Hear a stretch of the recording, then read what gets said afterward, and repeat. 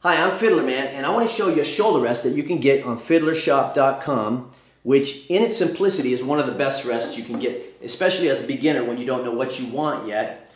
This rest is made by Poehland. It's called a C-rest, and it's this is leather right here. The leather part slips over the end pin, and then with a rubber band, you attach the other side to it, and it can slide up or down depending on where you want it, closer to the body or farther from the body.